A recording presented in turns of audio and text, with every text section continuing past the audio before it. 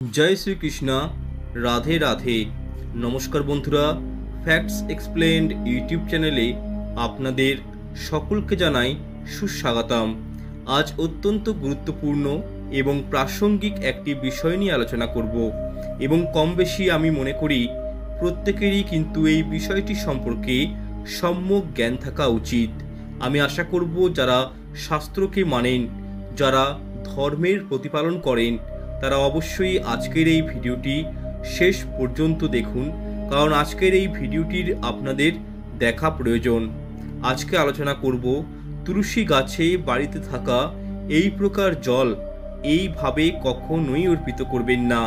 নতুবা আপনাদের জীবনে নেমে আসবে চরম দারিদ্রতা তথা সংসার জ্বলে পুড়ে নষ্ট হয়ে যাবে। এছাড়াও শাস্ত্রমতে তুলসী গাছে জল কোন দিন বাড়ির স্ত্রীদের দেওয়া উচিত নয়, সে সম্পর্কেও আলোচনা করব। দেখুন বন্ধুরা, বাড়ির স্ত্রী বা মহিলারা এই দিনগুলোতে যদি মা তুলসীকে জল অর্পিত করে থাকেন, তাহলে এই ভুলের কারণেই তাদেরকে অনেক প্রকার দুর্ভাগ্যের সম্মুখীন হতে হবে। তাদের উপর মাতা তুলসীর সঙ্গে সঙ্গে মা লক্ষ্মীও রুষ্ট হয়ে পড়বেন। তাই আপনাদেরকে অনুরোধ করব সম্পূর্ণ তথ্য জানার জন্য আপনারা ভিডিওটি স্কিপ না করে সম্পূর্ণ দেখুন। সুপ্রিয় দর্শক বন্ধুরা, শাস্ত্র অনুসারে যেসব গৃহে তুলসী গাছ থেকে থাকে সেই সব গৃহে সাক্ষাৎ মা লক্ষ্মী বসবাস করেন। যদি কোনো ব্যক্তি তুলসী গাছের সঠিক নিয়ম মেনে পুজো পাঠ, দেখাশোনা করে থাকেন, তাহলে সেই গৃহে মা লক্ষ্মী স্থায়ীভাবে নিজের স্থান গ্রহণ করে নেন। কিন্তু গৃহে তুলসী গাছ রাখার কয়েকটি গুরুত্বপূর্ণ বাস্তু টিপস বা নিয়ম রয়েছে, যেগুলি আমাদেরকে খেয়াল রাখা অবশ্যই উচিত। আসুন জেনে নেওয়া যাক সেই বাস্তু নিয়মগুলি সম্পর্কে।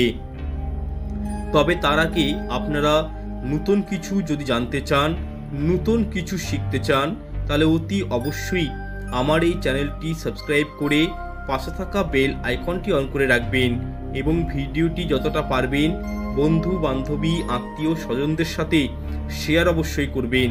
তথা এই ভিডিওটি দেখে আপনারা যদি ওয়ান পার্সেন্টও উপকৃত হন, তাহলে অবশ্যই ভিডিওটিতে একটি লাইক দেবেন এবং কমেন্ট সেকশনে মনে ভক্তি রেখে জয় মা তুলসী, জয় মা লক্ষ্মী ও জয় শ্রীকৃষ্ণা লিখে জানাবেন। এতে করে আমরা আরও অনুপ্রাণিত হব। চলুন তাহলে সরাসরি ভিডিওটির মূল বিষয়ে প্রবেশ করা যাক। সর্বপ্রথম নিয়মটি হল, নিয়মিত রূপে যদি ঘুম থেকে উঠে আপনারা তুলসী গাছ দর্শন করেন এবং তার সামনে করচরে প্রণাম করেন, তাহলে আপনাদের সমস্ত রকমের পাপ থেকে আপনারা মুক্তি পাবেন। সেই ব্যক্তির ভিতরে একটি নতুন ঊর্জা সঞ্চয় হয়, যার ফলে সেই ব্যক্তি সমস্ত কাজে সফলতা অর্জন করতে সক্ষম হন। দ্বিতীয়ত, দেখুন, শাস্ত্র অনুসারে তুলসী মাতা যদি কোনো ব্যক্তির উপর একবার নিজের কৃপা দৃষ্টি দিয়ে থাকেন, তাহলে সেই ব্যক্তি রাজা হতে বেশি সময় লাগে না। তাই মাতা তুলসীর পুজো যারা মন দিয়ে নিয়মবিধি মেনে করে থাকেন, তাদের সাফল্যের শিখরে পৌঁছাতে বেশি সময় লাগে না। তৃতীয়ত, দেখুন, তুলসী গাছে নিয়মিত পূজাপাঠ করলে এবং রাত্রে প্রদীপ জ্বালালে আপনাদের সমস্ত রকমের মনস্কামনা পূরণ হবে। চতুর্থ বিষয়টি হলো, যদি আপনাদের ব্যবসা, বাণিজ্য লস চলছে বা ধরুন আপনাদের ব্যবসা সম্পূর্ণরূপে বসে গেছে, সেক্ষেত্রে আপনারা এই পরিস্থিতিতে ভুল করেও ভেঙে পড়বেন না। আপনারা প্রত্যেক শুক্রবার দিন তুলসী গাছে স্নান করে, শুদ্ধ বস্ত্র পরিধান করে কাঁচা দুধ অর্পিত করুন। দেখবেন আপনাদের সমস্ত রকমের দুর্ভাগ্য খুবই তাড়াতাড়ি দূর হয়ে যাবে। কারণ তুলসী মাতা কখনোই নিজেদের ভক্তদের নিরাশ করেন না। পঞ্চম, যেসব গৃহে তুলসী মায়ের প্রতিনিয়ত পুজো অর্চনা করা হয় এবং রাত্রিবেলায় তুলসী তলায় ধূপ প্রদীপ জ্বালানো হয়, সেই সব গৃহে তুলসী মায়ের আশেপাশে কখনোই নেগেটিভ এনার্জি প্রবেশ করতে পারে না। এছাড়াও, বন্ধুরা, যেসব গৃহে তুলসী গাছ লাগানো থাকে সেই সব গৃহে নেগেটিভ এনার্জি যেমন প্রবেশ করতে পারে না, ঠিক তেমনই নেগেটিভ এনার্জি সেই সব গৃহ থেকে অনেকটাই দূরে থাকে এবং পজিটিভ শক্তির বিস্তার লাভ হয়। ষষ্ঠ বিষয়টি হলো, যদি আপনাদের গৃহে টাকা পয়সার অভাব থাকে, অর্থকষ্টে আপনারা ভুগছেন আপনাদের জমানো টাকা কিছুতেই জমাতে পারছেন না বা জমানো টাকা বা পুঁজি আস্তে আস্তে কমে যাচ্ছে, সেক্ষেত্রে আপনারা শীঘ্রই তুলসী গাছ গৃহে নিয়ে এসে লাগান এবং নিয়মিত রূপে মাতার পূজা অর্চনা করুন। সপ্তম বিষয়টি হলো, আমরা প্রত্যেকেই জানি শ্রীকৃষ্ণ প্রভু শ্রী হরি বা ভগবান বিষ্ণুদেবের পুজোতে তুলসী পাতা ছাড়া ইনাদের পুজো কখনোই সম্পন্ন হয় না এবং তুলসী পাতা অর্পিত করার পিছনে একটি গুরুত্বপূর্ণ কারণ রয়েছে। দেখুন, শাস্ত্রমতে এমনটি বলা হয়ে থাকে, যদি ভগবানকে আপনাদের দেবার মতো কিছুই নাই থাকে, সেক্ষেত্রে শুধু তুলসী পাতা অর্পিত করলে প্রভু নারায়ণ তথা শ্রীকৃষ্ণ সেই ভক্তের উপর অত্যন্ত সন্তুষ্ট হন, প্রসন্ন হন এবং ভক্তের সমস্ত রকম দুঃখ, কষ্ট স্বয়ং পরমেশ্বর ভগবান দূর করে দেয়। তাই অতি অবশ্যই শ্রীকৃষ্ণের পূজা এবং নারায়ণের পূজায় তুলসী পাতা নিবেদন করতে ভুলবেন না। তবে একটি বিষয় মাথায় রাখবেন, ভগবান ভোলানাথের পুজোতে এবং ভগবান গণেশজির পুজোতে তুলসী পাতার ব্যবহার ভুল করেও করবেন না। এতে কিন্তু দোষ লাগে, পাপ লাগে। অষ্টম বিষয়টি হলো, যদি আপনাদের গৃহে কোনো বাচ্চা শিশুর উপর খারাপ নজর লেগে থাকে তাহলে সেই নজর দোষ থেকে রক্ষা পাওয়ার জন্য তুলসী গাছের সাতটি পাতা নেবেন এবং গোলমরিচের সাতটি দানা নেবেন। সেগুলি মুঠো করে নিয়ে বাচ্চার মাথা থেকে পা পর্যন্ত সাতবার ঘুরিয়ে নিয়ে বাড়ির পিছনের দিকে রেখে দেবেন। আপনাদের বাচ্চা ধীরে ধীরে সুস্থ হয়ে উঠবে। কিন্তু আপনাদেরকে এই প্রক্রিয়াটি ক্লকওয়াইজ করতে হবে, অর্থাৎ ঘড়ির কাঁটা যেমনভাবে ঘুরে, ঠিক সেইভাবেই সেই দিকেই আপনাদেরকে সাতবার এই প্রক্রিয়াটি করতে হবে।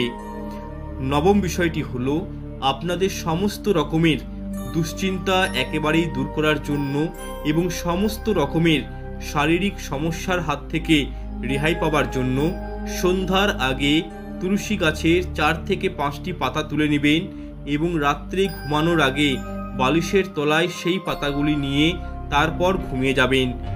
ঘুম থেকে উঠে সেই পাতাগুলি খেয়ে নেবেন, দেখবেন আপনাদের সমস্ত রকমের সমস্যা আস্তে আস্তে দূরে সরে যাচ্ছে। দশম বিষয়টি হল, জ্যোতিষশাস্ত্র মতে বলা হয়ে থাকে, যে তুলসীর মালা যদি আপনারা গলায় ধারণ করতে পারেন, তাহলে আপনাদের বুধ গ্রহ এবং গুরু গ্রহ বৃহস্পতি বলবান হবে। এছাড়াও বলা হয়ে থাকে, জ্যোতিষশাস্ত্র মতে তুলসী মালা যদি আপনারা গলায় ধারণ করে থাকেন, তাহলে আপনাদের সমস্ত রকমের সুখ প্রাপ্ত হয়ে থাকে। কোনো রকমের খারাপ এনার্জি আপনাদের ধারে কাছেও আসতে পারে না। যদি আপনারা মনে করে থাকেন যে তুলসী মালা আপনার গলায় ধারণ করবেন, সেক্ষেত্রে আগের থেকেই তুলসী মালাতে গঙ্গা জল দিতে হবে, ধূপ দেখাতে হবে এবং সেই দিন তুলসী মালা পড়ার পূর্বে কোনো মন্দিরে গিয়ে ভগবান শ্রী হরির পুজো আরাধনা করতে হবে। এছাড়াও যারা তুলসীর মালা ধারণ করে থাকেন, তাদের কিন্তু পেঁয়াজ, রসুন, মাছ, মাংস, ডিম খাওয়া বর্জন করতে হবে। একাদশ বিষয়টি হলো, যদি আপনারা প্রত্যেকটি কাজে অসফলতার মুখ দেখেন, তাহলে আপনাদেরকে তুলসী গাছের একটি দল নিতে হবে এবং সেই দলটি ভালো করে গঙ্গা জল দিয়ে ধুয়ে নিতে হবে এবং তুলসী দলটির ভালো করে পুজো করতে হবে। তারপর সেটি হলুদ কাপড়ে করে মুড়িয়ে রেখে দেবেন আপনার ঠাকুর ঘরে। দেখবেন আপনাদের সমস্ত রকমের সমস্যা আস্তে আস্তে দূরে সরে গেছে।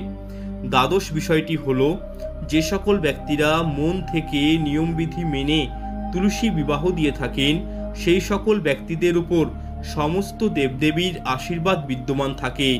তুলসী মাতা সদাই উনার কৃপাদৃষ্টি সেই ব্যক্তির উপর বজায় রাখেন।